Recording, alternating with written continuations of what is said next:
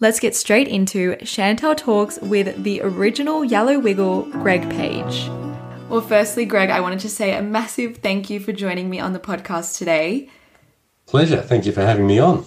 My young self is squealing inside. She's so excited that she gets to talk to the original Yellow Wiggles. So I'm glad you. I'm very glad you're excited.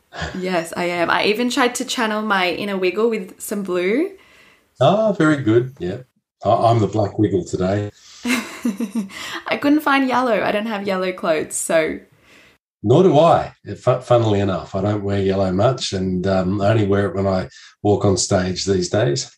Yeah, oh, that's interesting. Well, I thought it would be fun to start off with some rapid fire questions about the Wiggles, things that a lot of people listening probably are really curious about. I know I am. And we can get the inside scoop. Hopefully, I know the answers to the questions. I'm sure you do. I'm sure you do. Well, the first question is where did the name The Wiggles come from? I know that one. Uh, so, we had a song on our first CD called Get Ready to Wiggle. And we just thought the idea of kids wiggling was pretty cool. So, we called ourselves The Wiggles. And it also kind of you know, it was like groups like the Beatles, the Rolling Stones. It had the at the start of it, so we, we liked that, and it really did kind of link to that form of dancing that was just pretty nondescript and um, non-prescriptive, I guess, in terms of the way that kids could move and dance to the music that we made. Yeah, even when I hear the word now, I just I can dance to it just hearing the word wiggle. That's yeah, yeah. that's awesome. Yeah. You redefined the word for everyone. The next question is where did the Wiggles fingers come from? That came from in our early days of touring. We used to travel around Australia and we'd have the weekends off. Um, initially, we didn't. Initially, we worked the whole week and weekends. We did that and nearly killed ourselves. But um, when we had the weekends off, we would spend the weekends in these country towns and we'd watch TV on the weekends. And generally, if the cricket was on, we'd watch the cricket in the lunch break of the cricket, they showed 10 pin bowling, and that went for like half an hour. There were these two guys from South Australia who would do uh, they'd do their bowl in the, down the, the alley, and if they got a strike, they would turn around to each other and they would do this, right, like that. Now, one day we were on stage, and Murray had just been off stage dressing up as Dorothy. This was how long ago this was when we played the characters ourselves. So he came back on stage and he went, hey, hey, hey, hey, hey, like this. And he did those fingers. Now, that was different to what the bowlers had done. But we said, after the show, he said, Muzz, what on earth was that that you did? He said, Oh, you know, I just thought it'd be fun to do because I saw those bowlers doing this after they got a strike. So I thought I could do that. Anyway, so we started copying what Muzz had done. And then it just became a thing as it turned out, it gave us something to do with our hands in photographs so that our hands would always be visible in photographs because it was something that was always on your mind. How do you make sure your hands can be seen in photographs so that they can't, so that nobody could ever sort of imply or infer that your hands were a place that they shouldn't be? It was something we were very conscious of. So that came out to, to be a very good thing for us in many, many ways. Wow. Yeah, and now that action is so iconic and and everyone loves the Wiggles fingers. It's funny, like I was watching some sporting thing. I don't know what it was, but I've seen several sporting things with international sports people, and they seem to do this. But I think surely it's not come from us. It must be something else where they've got it from. Um, but certainly it is something that's you know very closely associated with the Wiggles now. Yeah, for sure. Well, that's really interesting origin story. Wow. There we go. I had no idea. Another question is about the colors. So, how did those colors get allocated? And was that always the colors of the Wiggles, like ever since you guys started? No. So, when we first started, uh, like if you were to look up on the internet, type in the Wiggles first CD or some search term like that, you'd see the artwork for our first CD where we didn't have the colored skivvies. We had these very brightly, garishly coloured shirts. Uh, that was for CD one. So when CD two came around, our manager said, "Look, how about you guys change your look for the next CD?" And this was, I don't know, maybe the day before our photo shoot for the cover for the CD, and we had a bit of a chat about it, and Anthony said, "Oh, look, we should go with black pants and just bright, solid colours on the top." And I think maybe Muzz said, "Oh, look, I've I've got a red skivvy at home," and Jeff said, "Well, I've got this purple kind of skivvy as well." And I think we might have sort of decided that we should go with skivvies, but they needed to be bright colours. Anthony and I didn't have anything that fit that description. So we went out shopping together, which was probably, no, it was probably a good thing. As fate would have it, it was a good thing. But at the time, we walked into the store, and I think it was an old Grace Grace Brothers store that um, used to be around. We walked into the store at Chatswood, and in the menswear department, we could both see a blue skivvy on the back wall. And so we both kind of ran for the blue skivvy. And you can tell who was the faster runner on the day, right? so Anthony got to the blue skivvy, but next to it was a yellow skivvy.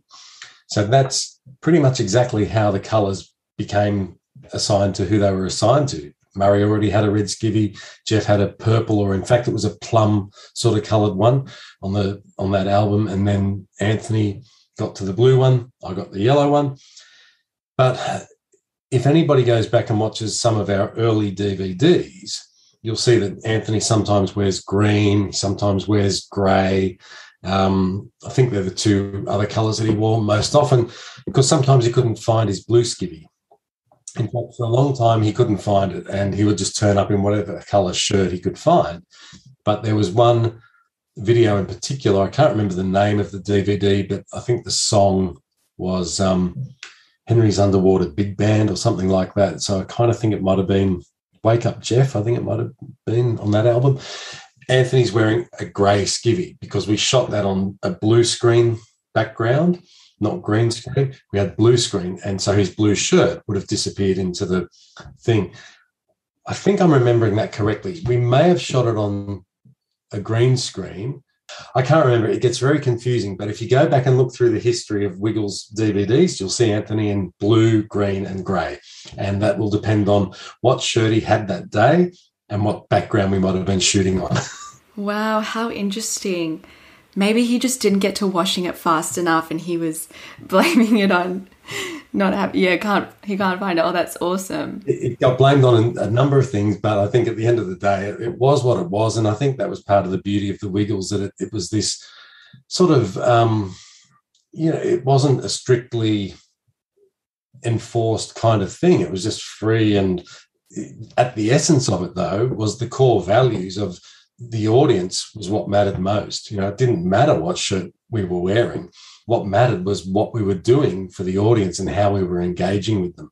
And it's one of those quirky things now that we look back on, you know, with the hindsight of, of time, and we can see the evolution of this thing that was not well thought out from day one. And I think that's the thing that probably blows a lot of people away that we were so successful, but a lot of it was just uh, I was going to say luck. It wasn't luck, but it just happened because of pure intentions and a desire to do something that was good.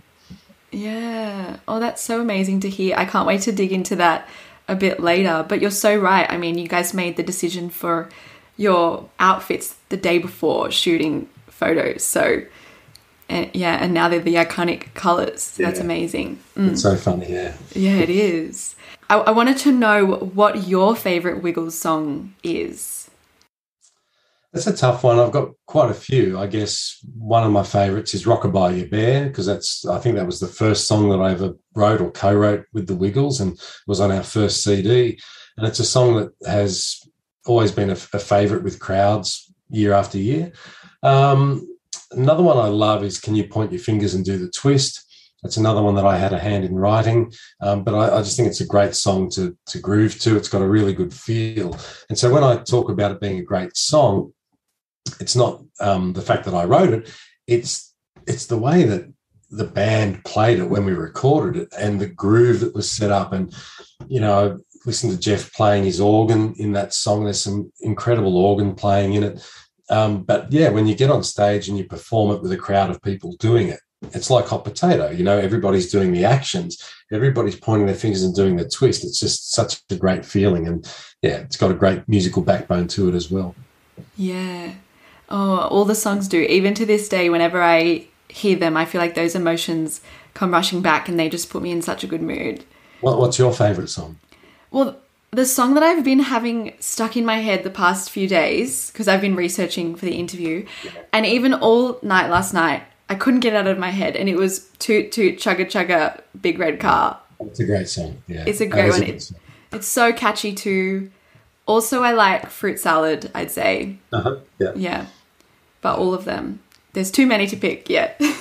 yeah. No, there there are there's heaps, and that's the things that Toot Toot is another of my favourite songs. I love singing that song. I think it's it's great fun, and when you go out on stage in the big red car, it's just so cool. I know. And the last question, because that has definitely not been as rapid as I no, I know. Sorry about that. No, I, I love hearing it. It's great. The last question Who is someone huge that you found out was a fan of the Wiggles and you just thought, oh my gosh, this is so epic. They know who we are? Plenty of people. Yeah, like Jerry Seinfeld, Robert De Niro, Mick Fleetwood from Fleetwood Mac, John Fogerty from Creedence Clearwater. Um, yeah, some incredible people. Um, too many to, name all of them. Ricki Lake, uh, she was a big talk show host in the US. Uh, yeah, we had some big people come along and want to meet the Wiggles and it just blew us away. So we've been very privileged over the years to have met these people and to, um, you know, hear their stories about their kids watching the Wiggles. Um, uh, who was another one? Oh, there's, there's heaps. Camryn Manheim, yeah, she's a, a famous US actor. Um, so yeah, lots and lots of people. Yeah. It was it was and still is such a special group and it was the soundtrack of my childhood. So yeah, it's it's magical. Yeah, look, it's it's funny because I guess in a lot of ways it was the soundtrack for half of my life as well. You know, at the time when I left, I'd been doing the Wiggles for about 16 years, and I've been in the I started when I was 19, so nearly half of my life. The Wiggles songs were a very big part of who I was. So they're, they're great songs, and they bring back a lot of great memories for me and for people your age as well. Well, then I'd love to go into the start of the group and hearing a bit more about how it came to be. It came about really just uh, the way I remember it over one summer. Uh, I was at university studying teaching with Anthony and Murray. They were two years ahead of me. And I got a call from Anthony saying, why don't we get together and write some songs for kids? I've been doing a lot of listening to play school albums, and um, there was a performer from the uh, from Canada called Raffi. Um, there was another, oh, Sharon Lois and Bram was another act that Anthony had been listening to. A lot of other kids' music, and he just thought that you know we could write some songs that were as good as those, or um, you know try to aspire to be as good as those and we should get together, write them, and record them. So that's pretty much how it started. It started very loosely and without any kind of goal in mind other than writing good quality songs for children. But we were very passionate about it. And as I said, Anthony had done his research, he'd been listening to a lot of stuff. We'd been learning about children and how they how they think and how you can educate kids by engaging them with with experiences. So that really informed a lot of our songwriting. And we did that first CD. Uh, we recorded it at a few different recording sessions, but we got there and um, submitted it to the ABC and they loved it and they released it as it was. We were really thinking it would just be a demo record. You know, back in the day, people would do demos of songs and submit them and try to get the funding to do a better recording of it. Well, the ABC loved what we'd done and yeah, that the rest, as they say, is history. Wow. So, how did Jeff come to be in the group? He wasn't originally part of the group. There was Anthony, Murray, myself, and a guy called Philip, Philip Wilcher. And Philip worked at the university where we were studying. So we were in the studio and we- we'd really taken an old Cockroaches song that Anthony and Jeff were in this group called the Cockroaches. And I was, I was a big fan of that group. And that's how my journey began with Anthony and Jeff um, that drew, drew us together. But because of this song, we adapted it to what is now known as Dorothy the Dinosaur, and that was on our first CD. It had a bit of a, a, sort of rock and roll feel to it, but we didn't have a drummer, we didn't have a band as such. And Anthony said to Jeff, Look, can you program? I'm using old terminology here, but can you program us a MIDI sequence from your keyboard that we can use to record this song? Jeffrey said, Oh, how long is it going to take? And Anthony said, Oh, look, probably an hour or two. So Jeff threw his keyboard in the car, came down to the recording studio, programmed in this backing sequence for this song, and we recorded it. But we found out that we really needed a few more of those kinds of songs and that it might be useful to have Jeff as part of the group. So we ended up asking Fatty to, to stay and be a part of the group. So his question about how long was it going to take, he never expected it was going to be, you know, 20 years or whatever it ended up being for him. Um, it was really just a one-off thing for him to come to the studio and record those songs, but he ended up staying and was an invaluable part of the group. Yeah. Oh, that's so fascinating. Did you always have a love for music that you thought it was potentially something you wanted to pursue? Yeah, always. Yeah.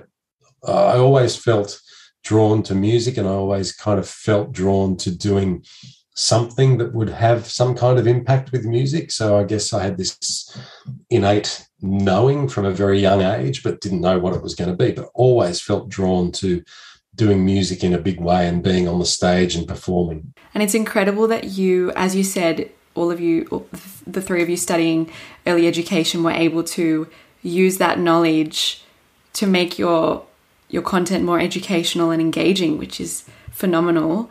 Yeah, that's so incredible to hear. Did you guys, even when the Wiggles grew bigger, were you able to use your knowledge to create skits and enforce ideas and stuff like that? Or did it kind of get, I don't know, did you have less control over the ideas? No, we always made, we, well, I was going to say we always maintained control. We didn't always. We had to give up control a couple of times. But whenever we had control, we would always try and ensure that we stayed true to those foundations and those principles. And whenever we did stay true to those, we found that things worked really well from time to time, we would try things that deviated a little bit from those principles. Um, whether it was out, I don't know. Anthony's very spontaneous, which is great. And I remember being on stage one time, we were on tour, and a lot of the, I, I guess, doing so many shows day in, day out, three or four shows a day, five, six, sometimes seven days a week, could become a little bit um, repetitive for us. But having said that, the audience was always different. So a different audience for every show meant that every show was different. However, for us doing the same content over and over could become a little bit repetitive. So Anthony would throw in these things. He'd just try them without even discussing them with us on stage. He just, I remember he threw in this thing, I think he called it question time with Dorothy. So we'd have Dorothy the dinosaur on stage, and we had somebody on tour with us who was doing the voice live. And so Anthony said, Okay, everybody, if you've got a question for Dorothy, put up your hand and you can ask a question to Dorothy. So all these kids would put up their hands. And Anthony would say, Yep, what's your question? And they'd say, I'm three. And then Anthony would say, You're three. Well, that's not really a question, but you know, it's great to hear that you're three. Uh, what's your question? I've got a sister. Right. So what was happening was kids were not asking questions, they were telling us information. And so we tried that for about a week, I think, before Anthony kind of went, What is going on here? Why is this segment not working? We got in touch with one of our lecturers from university and we asked her why this was not working. She said, It's very simple why it's not working. Number one, children don't really have a concept of what a question is. So they don't know to ask a question. Secondly, if they've got, if they've got the chance to talk to Dorothy, being an egocentric child, they don't want to know about Dorothy. They want to tell Dorothy about themselves. So they're going to make a statement about themselves. So we changed that from question time with Dorothy to, you know, tell Dorothy about yourself. And it was a much better experience. So we, there would be, that's just one example of how we would try to change things to make more of a show of things right? But sometimes because of the way we were doing these things, we weren't thinking them through because it was spur of the moment, spontaneous. When we go back and think about it, then we would think, okay, why is this not working? And we'd have to tweak things and change it. So we would always go back to that early childhood philosophy to try to make sure that what we were doing was going to connect with the kids in the best way.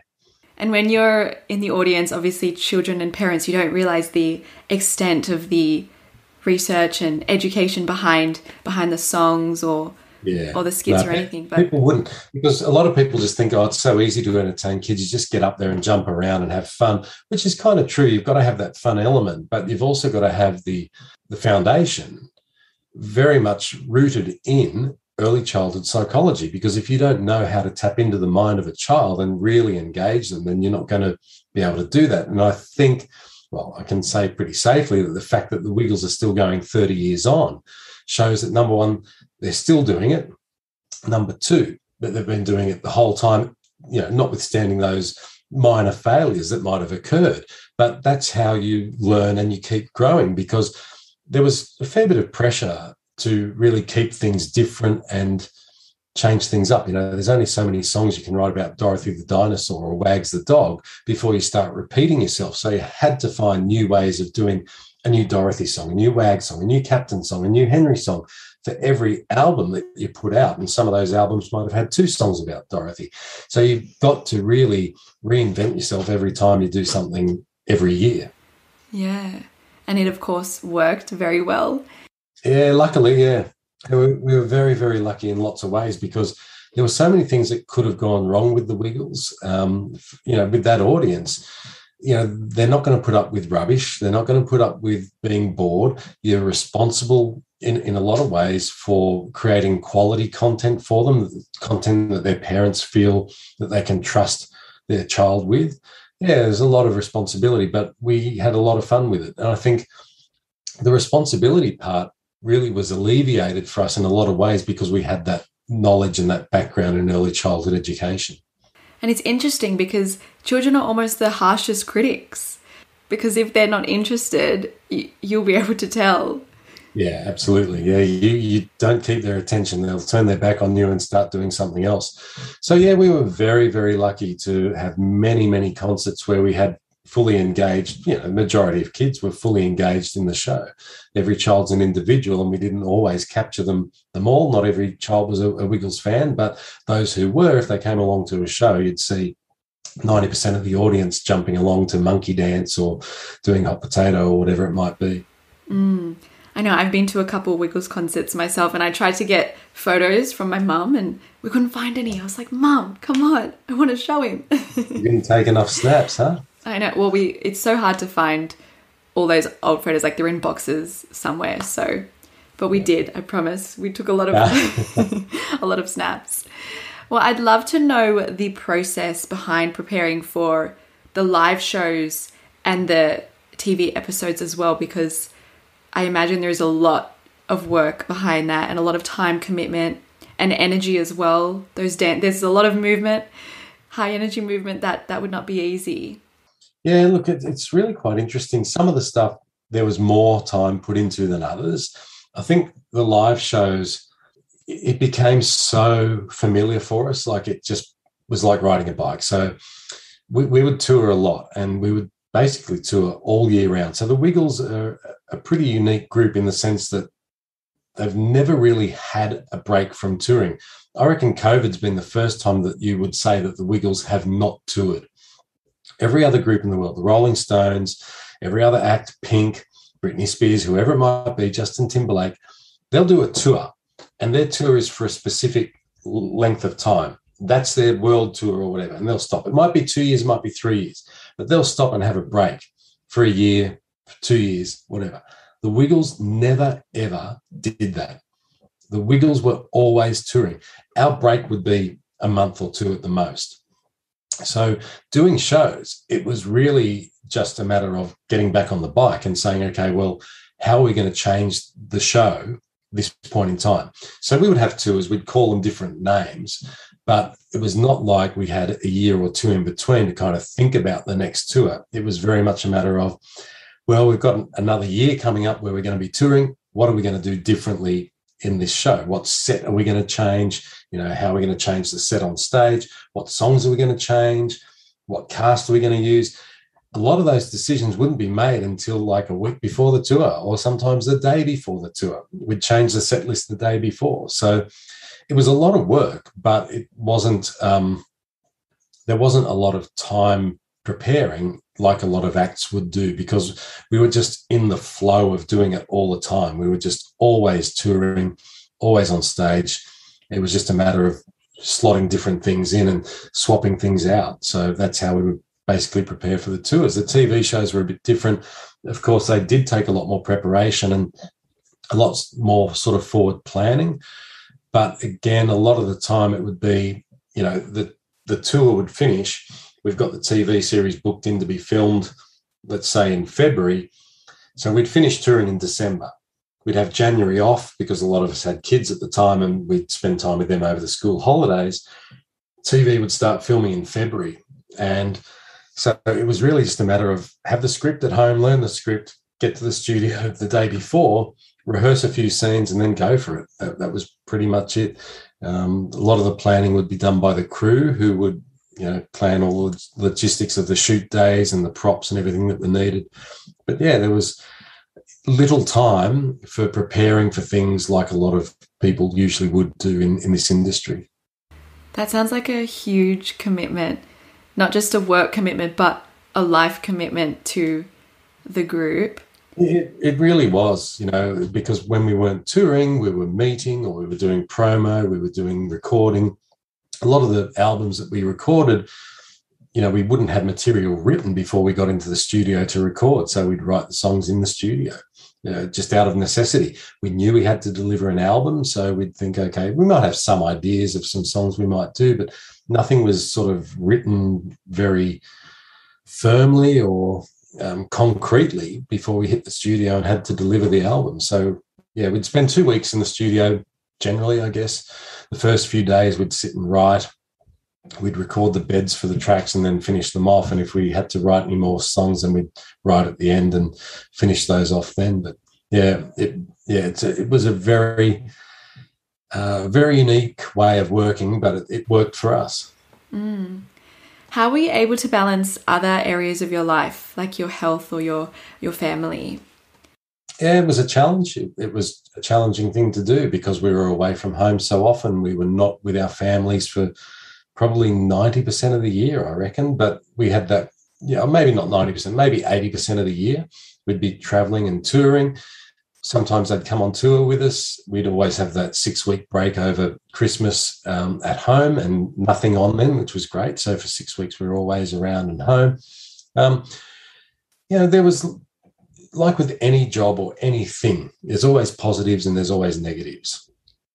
Hopefully, um, for for my kids, the the positives outweigh the negatives, but um, you know you, have always got to take the good with the bad and you've got to make the most of life in whatever way you can and with whatever's presented to you. Yeah for sure. No i, I know they'd be very proud of their dad. I'd be telling everyone my dad's the yellow wiggle.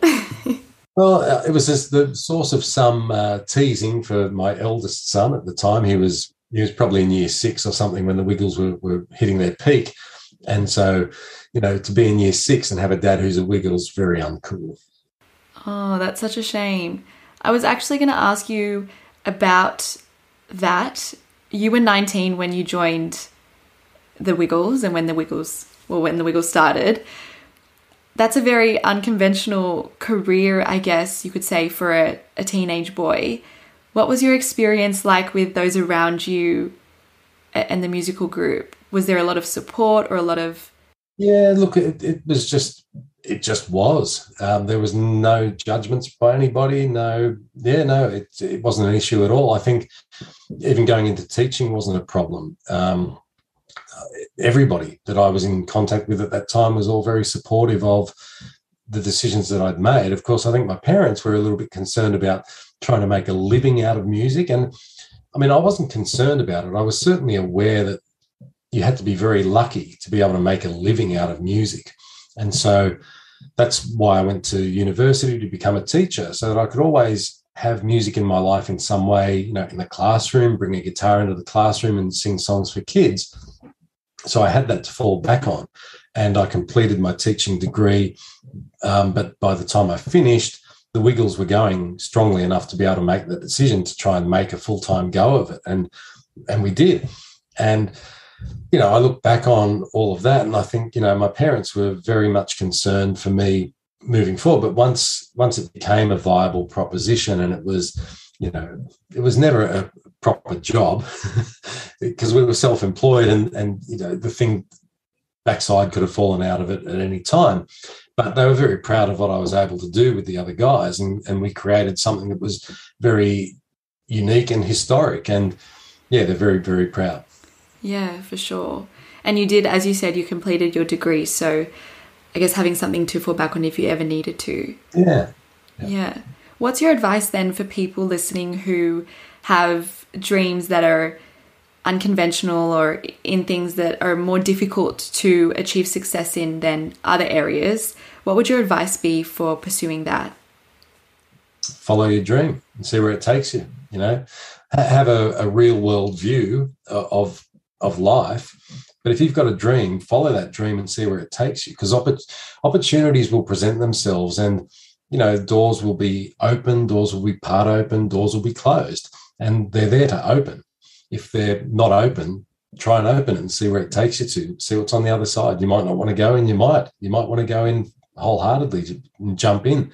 But the, the great thing is you can always change where you're going at any time because you have the choice of you've got the power of free will choice to to go down one path or another so i think as as you take each step down the path your view changes right life never looks the same from where you stand or if, if it does look the same you're standing still you should be moving at, at every moment in life you should be getting a different perspective on life from things you've seen things you've learned um, experiences you've had, people you've met, they all inform your your knowledge and they empower you to make decisions about where you're going to go. Oh, I love that advice. Thank you. Yeah, follow your dreams. I mean, it kind of sounds like the Wiggles became successful overnight, but that's never the case. It, you know, success requires hard work, as we know. How did the Wiggles become such a worldwide phenomenon? Yeah, well, look, you're right. That part didn't happen overnight. You know, I think uh, it, it's funny because as you were talking about that, I was thinking about 1991 when we released the album, and that that moment of releasing the album and doing photo shoots and doing performances to promote the album, that seemed like that happened overnight, and that was pretty cool. But that was nothing compared to what happened down the track, right? So as as you go down this path, you have these experiences and you think, wow, this is amazing, this is incredible. You don't know what lies ahead. So as you're doing that, things grow and they become bigger and yeah, it just snowballed. So I think the US didn't kind of happen for us in the UK. It didn't happen until around about 97. And I think it really took our Wiggles movie for, for those markets to open up to us. So in 97, we released this movie. Uh, I think it was just called the Wiggles movie. In the US, it was called the Wiggles Magical Adventure or something like that. But it was released here as a cinema release. So it was a real movie. In the US, it was just released straight to DVD. But it was that that really enabled us to capture the attention of people in the US because the movie was released by 20th Century Fox, which is a big movie company. So to, to go to the US and say, look, we've had a movie released in Australia by 20th Century Fox was quite a big deal. So it got the attention of people like Fox Family Channel, who are obviously associated to Fox because of the, the ownership. Um, so we ended up launching in the US on Fox Family or Fox, might have been called Fox Kids. I can't quite remember.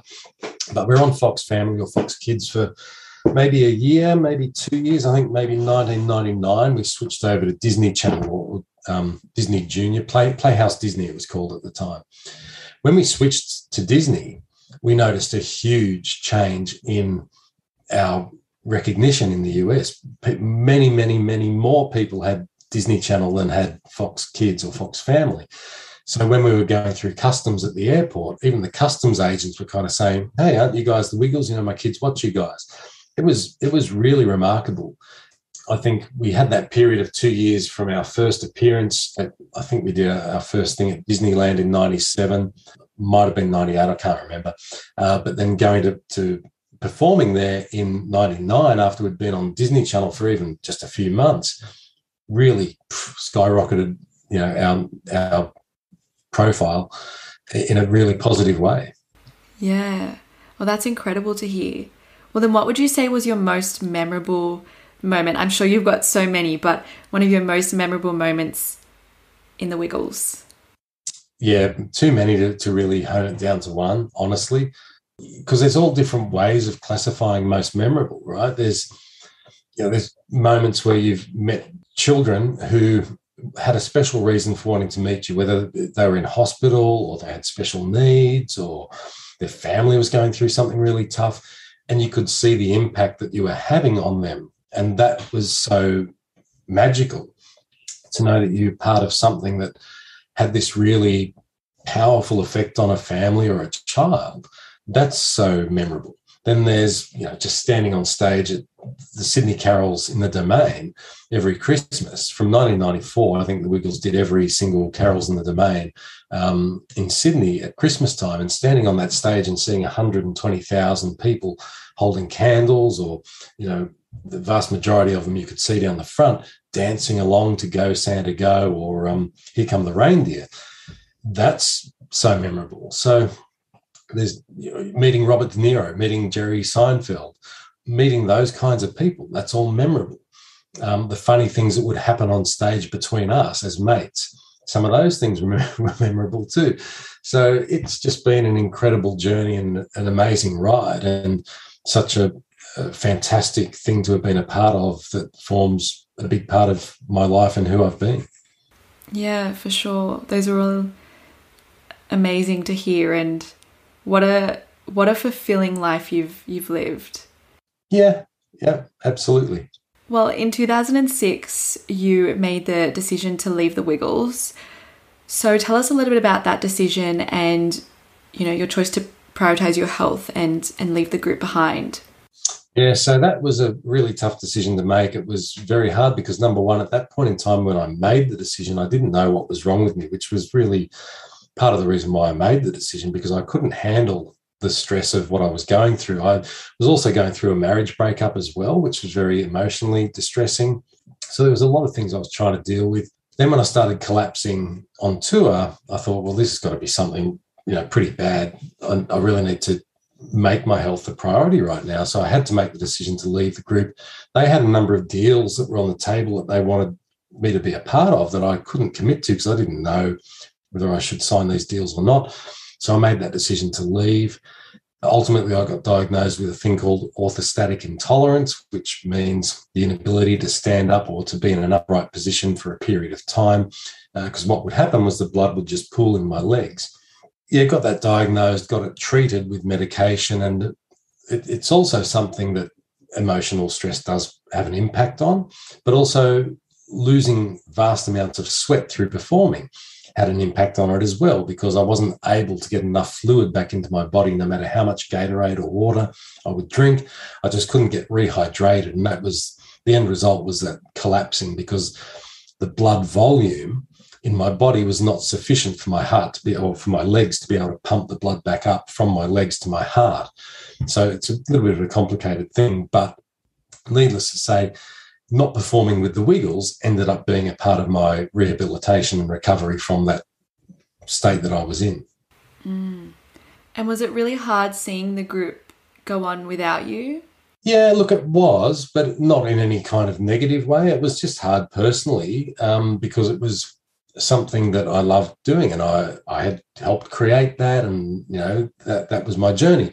But at the same time, I think initially it was it was really just a fait accompli that I couldn't do it. I was unwell. So yeah, it was the right decision. So as time went on, though, I guess, you know, I got a little bit better and I could, could do more things, but I was doing other things then. So it wasn't really, I guess, put it this way, there was never really a consciousness of lack in my life. Like I wasn't really feeling that lack um, the guys ultimately asked me to go back in 2012 to replace Sam because he was leaving at the end of 2011, and that that was a tough decision because I had to th- really think about why I was doing that. You know, was I doing it to help them out, or was I doing it for my own purposes? And I think there was a lot of unresolved stuff there for me because I left the Wiggles.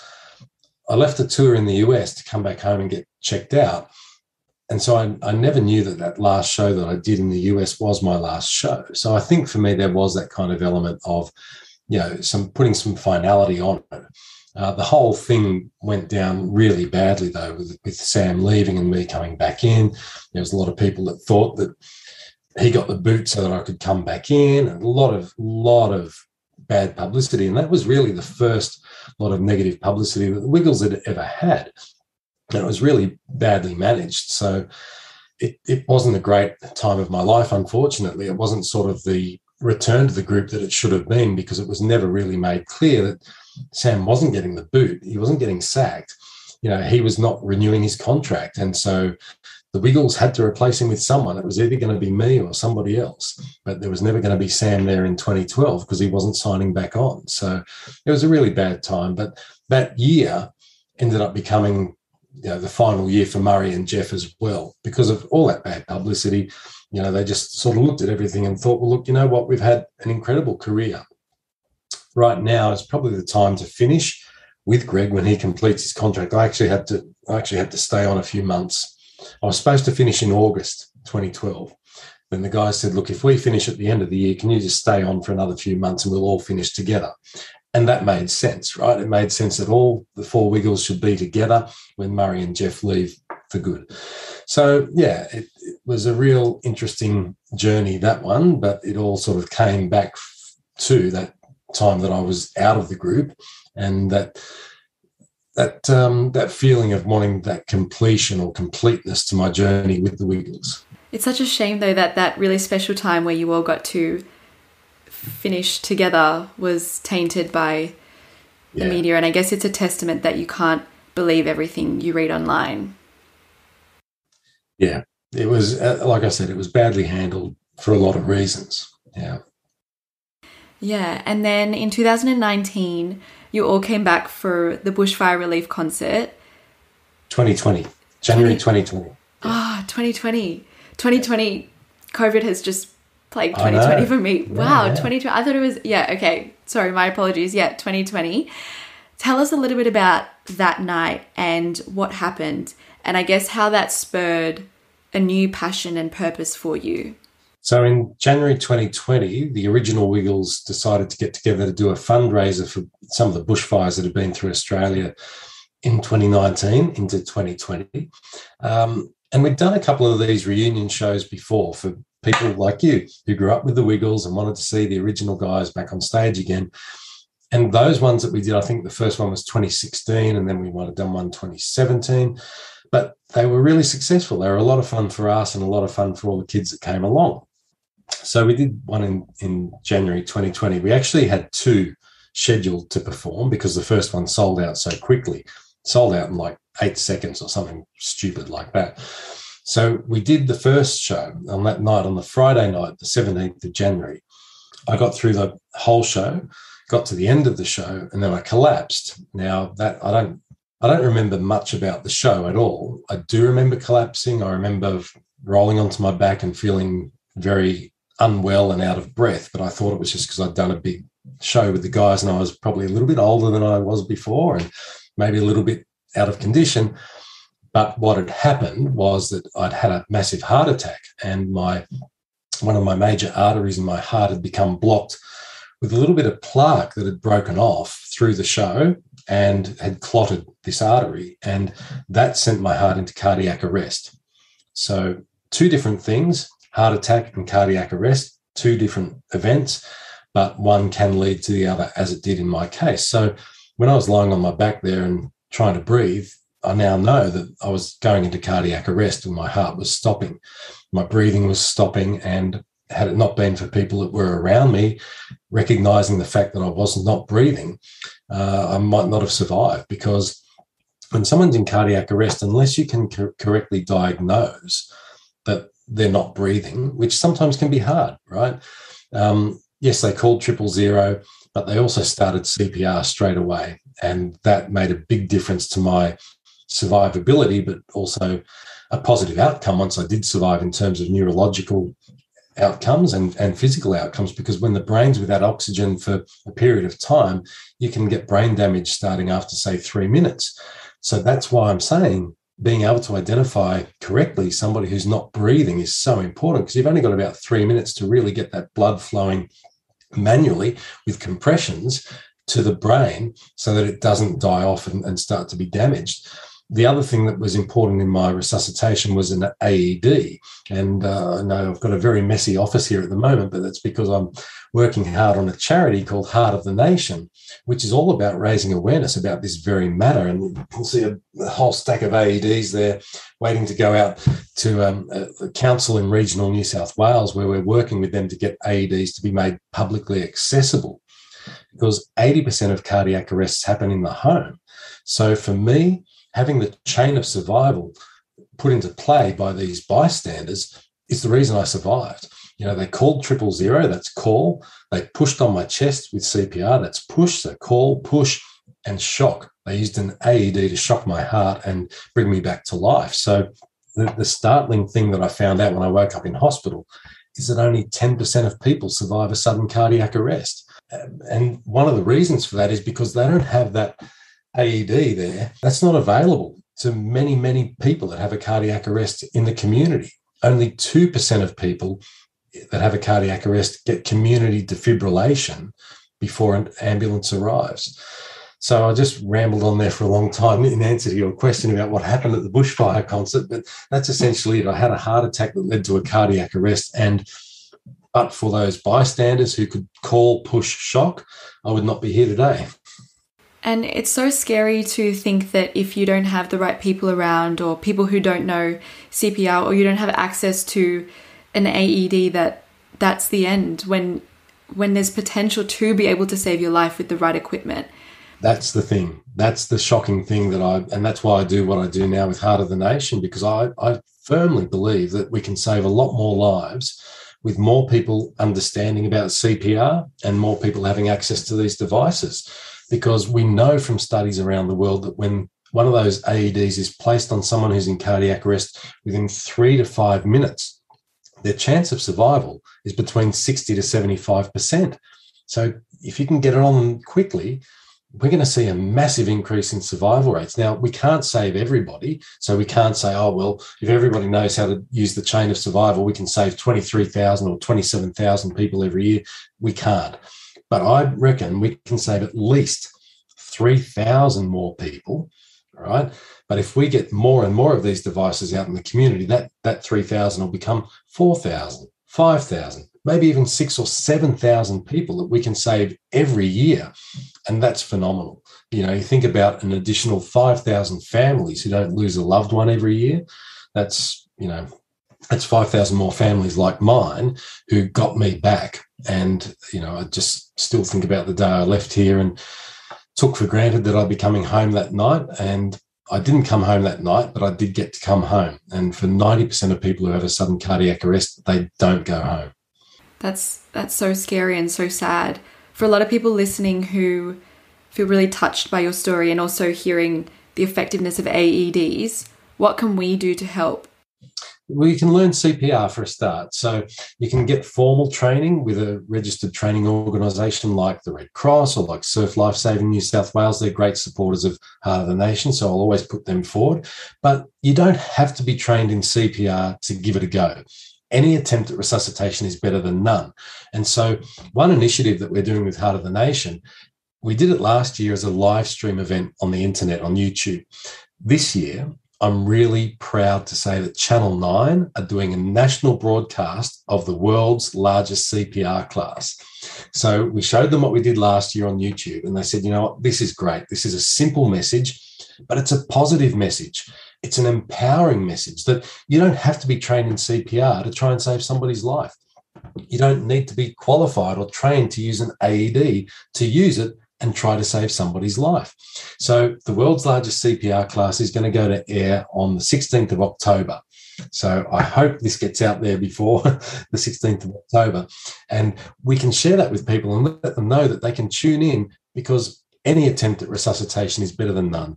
So if you can tune in and watch this, you'll learn a little bit about CPR, but it'll be enough to give you the confidence and empower you to try and save somebody's life if you ever need to. Oh, that's exciting. I, I, this will definitely be up before then. But no, that's wonderful to hear that Channel 9's getting on board as well. Yeah, I hope everyone listening. It's massive. It's a one-hour national TV broadcast, so it's it's great exposure for the message, but it's great exposure for Heart of the Nation too, because we've got many other initiatives that we do that a lot of people wouldn't know about. So we have, um, we'll be launching a CPR pushathon as well. So I can talk about that now. Uh, we haven't officially launched it yet, but you can check it out. If you go to CPR pushathon, com. So it's a Raisely fundraising website. Or if you go to heartofthenation.com.au, you can find out more about it there. But we're asking people to form a team, get sponsored, sign up, and start pushing. That's all you got to do. And you can push on a pillow or a soft toy or a football, a soccer ball, anything that provides a bit of resistance to being pushed on and see how long your team can push for, but raise money for Heart of the Nation and restart a Heart Day at the same time. So, again, it's an interactive, engaging experience that'll immerse people in this knowledge about CPR because you don't have to do the formal training. Of course, doing the formal training will help you have more confidence, but anyone can have a go at doing CPR if it's needed to be done. Oh, that's great. Participating in that, being able to learn how to yeah. do CPR if need be and I, I think that's a really good point because I personally didn't know that that any any effort with CPR counts. Yeah, absolutely, because you know why? The person who needs CPR, they can't get any worse than what they are. So anything you do in terms of trying CPR is going to only help them. If you do nothing, the only positive, the only possible outcome is that they will die. We know that for a fact. If nothing is done, that patient will die. If you try something, they have a chance at living, and you would be the reason why they have that chance. Wouldn't you rather be the person that gives someone the chance at life rather than letting them die? People need to understand this. You can't hurt them by doing CPR, you can't make them worse off, you can only save them. And that's a really powerful thing. Mm, definitely. That's that has empowered me to go and want to learn and sign up for the pushathon. I'm sure everyone, yeah, yeah. I'm sure everyone listening. Form a team, get everyone to sign up and have some fun learning CPR and learning what to do in, in case somebody collapses in front of you and they're not responding and not breathing. Yeah. And is there anything people can do on an individual level to try and get more EADs in venues and facilities? Yeah, look, I think, you know, for anyone to become an advocate, I mean, the other initiative that we have is this one here. So if you know somewhere that has an AED, get them to sign up to Heart of the Nation. It's free to become a member. And we send them these stickers to put on the window or doors at the front of their business because often the AED is stuck out the back somewhere. It's in the lunchroom or a staff room or a you know, maintenance cupboard somewhere, and people don't know it's there. But if people see this sign and someone goes into cardiac arrest nearby, they'll know that there's an AED inside that business that they can go and get and that might just save somebody's life. So that's a really important initiative too. So yeah, on an individual level, spreading the message about what Heart of the Nation stands for is really important too, because the more locations that we have that people can identify, the more lives that can be saved. Oh, it's so great to see that you've used this really hard experience and you know the struggles that you faced with your health to found this charity and help save more lives. That's incredible. Well, you know, when I woke up in hospital and saw my story on the news, I think that's when I knew that I had to use it. You know, combining that with the fact I'd found out that only one in 10 survive, I knew I had to try and get as much attention on this subject as possible because it's something I didn't know about beforehand, even though my wife's a cardiac nurse. I didn't really understand that people can just drop dead in public or at home or wherever you know, I certainly knew about heart attacks. I knew knew what that term was, but I didn't really understand what a cardiac arrest was. And now I do. And now I know there's an intervention that can be made by people. We just need more people to be able to do it. Yeah. And for people listening who hear this and are scared or frightened that it could just happen at any moment, is there warning signs for you? Did you experience any warning signs that I guess were a telltale sign that potentially something was coming? No, sadly, not for me. There wasn't. For some people, there are, and and for those people, that's the heart attack. That's the heart attack warning signs that they'll get. So they will get pain in the chest. They'll get short of breath. They'll start to feel unwell. That's when you call triple zero. Don't wait till you've collapsed for somebody to call triple zero. As soon as you start to feel unwell, short of breath, pain in the chest, pain in the jaw, pain in the neck like that, you should call triple zero and, and just get somebody on the way.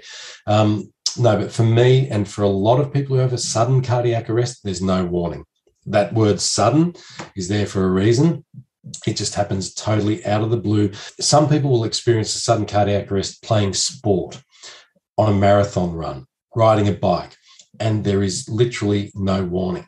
So earlier this year, there was a high profile cardiac arrest on a soccer field in, in Europe. It was part of a big competition over there. A young guy, I think he's 28 years old, he collapsed on the field, no warning, but he went into cardiac arrest and he needed to be resuscitated. So, luckily for him, being a pro footballer, there were people around who knew CPR and they had an AED right there. For a lot of other people who are playing cricket or playing football, playing soccer, if they go into cardiac arrest, it's a real surprise to their teammates and they're not prepared necessarily to respond appropriately. So that's another reason why the survival rate is so low because you know, you're playing sport, you think you're fit and healthy, then somebody goes down. Cardiac arrest is not really on the front of the mind for people. They think, oh, are they dehydrated? Have they fainted? Is it a fit? Have they gone into a seizure? So you go through all these other thought processes before you kind of arrive at, oh, I think they're in cardiac arrest and need CPR. So it does happen more often than people might think. Um, 27,000 Australians every year suffer a sudden cardiac arrest. The majority of those will be older people, but we have ambassadors for Heart of the Nation who are young people, a 24 year old, 28 year old, sports people, fit, healthy people, but they can still go into cardiac arrest. So it's something it shouldn't be afraid of um, because the incidence rate is one in a thousand, but it can happen. And the best thing to do is to educate yourself and your friends and your family on what to do if somebody goes into cardiac arrest just in case. I read that one in five people that suffer a heart attack are under the age of 40. That's probably right. So, for people listening who are in their 20s and 30s, is there any advice you have for living a healthier lifestyle when you're younger so that you can obviously, as you said, these are healthy, fit people that are suffering from sudden cardiac arrests? But are there things we can put in place whilst you're young to try and lower the risk of certain heart diseases or yeah, other Absolutely. struggles? Yeah, look, I think, you know, we, we know there's a lot of risk factors and they talk about the risk factors. So don't smoke. Yeah, diabetes is another risk factor. Fat, foods that are high in fatty content, you know, will lead to high cholesterol. So get all of those things checked out. Now, for me, those risk factors weren't sort of there. I had had a bad diet years before. So that period of time when I was on tour with the Wiggles, wasn't always easy to, eat healthily. So you just eat whatever you could and a lot of other reasons. But for those younger people, it's not only heart disease and heart attacks that can cause cardiac arrest, it can be genetic conditions. And the first time that somebody might know that they've got one of these genetic conditions is when they drop to the floor. So there's screening that can be done so if you think you might be predisposed for some reason, if you feel a funny thing in your chest, go and see a doctor. But live a healthy lifestyle too. You know, eat good food. I've cut a lot of crap food out of my diet since my event last year because stupidly I thought that being fit or being physically active would counteract some of that crappy food. So I've cut out bacon, sausages. I eat very little cheese now. I used to have cheese on things. Um, what else have I cut out? I've cut out a lot of that sort of fatty kind of stuff. I eat more of the healthier kind of things. But if you can do that sooner rather than later, it's always a good thing, right? You don't want to have to, you don't want to be one of those people lying on the floor waiting to see if somebody can resuscitate you to find out that you need to change your diet. So do it while you can. Yeah, I love cheese. That'll be a, that'll be a hard, yeah. hard one. You know what? I, I haven't found it that hard to change things. The milk I use now is milk that's got no cholesterol in it whatsoever. And I find that really interesting. So it's, I think it's Paul's Smarter White, I think it's called. Um, yeah, I looked that up. It's got no cholesterol. It's got a little bit of fat in it, but no cholesterol. So that's great. I use that margarine that, that actually helps to lower your cholesterol. I use a lot of that low fat yogurt now in place of things like um, sour cream. If I'm making a, a Mexican, um, uh, what do they call it, guacamole, uh, I'll use yogurt instead of that. Yeah, so I think you can make smarter choices, um, and yeah, I think less less of those diabolical things is always a better better thing for you. And healthy food tastes good too, so it's not like it's difficult that you're missing out on swapping out the sour cream for the yogurt, for example. Yeah, th- look, that's fine. Yeah, I I struggle with healthy food to be honest, and I, I, always have, and that's why my diet was so bad before. But now, yeah, it's some of those little changes that you can make that will make an improvement. So it can be done. And as I said, if you can do it before you end up on the floor, it's a much better position to be in. Yes, for sure. No, those are great advice for people listening. We don't often talk about health on this podcast, so that's really helpful. You probably don't often talk about a lot of these things on your podcast. yeah, we don't often talk about the wiggles, oddly enough.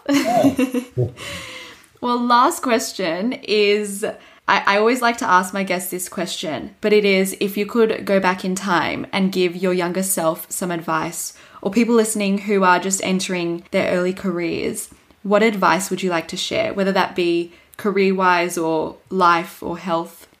Um, I, th- I think the biggest bit of advice would just be be happy with who you are. You don't have to please anyone. You don't have to do things to please others. You're enough. That's it. That's all I would say. Make of that what you will, but you know, it's it's so true. You you are enough. You don't have to change. You don't have to do things to please others. People can accept you for who, who you are. And if they don't, there's plenty of people who will. Yeah, and I think that's something I've learned as well is that people you could be doing nothing or you could be doing everything and there's always going to be people who just don't agree with you or like what you stand for and that's okay. Yep, absolutely. Mm. Well, Greg, that is the end of the interview. Thank you so much for joining me on the podcast. It was so surreal getting to hear about the Wiggles, and thank you for sharing honestly your health experiences and struggles. It's been my pleasure. Thank you so much for having me on.